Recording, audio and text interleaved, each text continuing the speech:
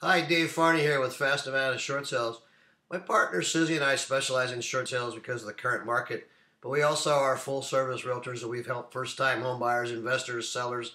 So we've been around for about 13 years now, and we are full time. We're with Realty One Group here in Nevada.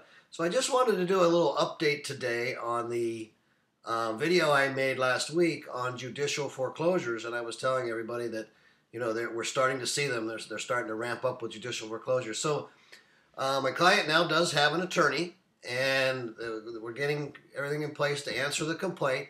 But I just wanted to show tell you about a little caveat that came into the uh, playing field last week. The bank also another servicer from Wells Fargo came out of the blue, and it's Quality Loan Servicing, and they filed a non-judicial foreclosure against the client.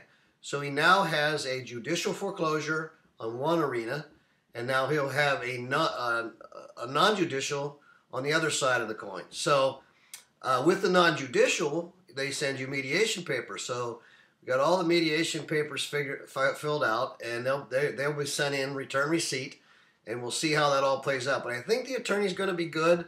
I'm going to um, hold back on my total judgment on that until we get further into the case, and I will try to keep everyone updated. So I just wanted to let you know what's going on today, and we're gaining we're going to gain a lot of knowledge about judicial foreclosures, so that when this when this comes your way or or a friend's way, relative's way, that we can help them.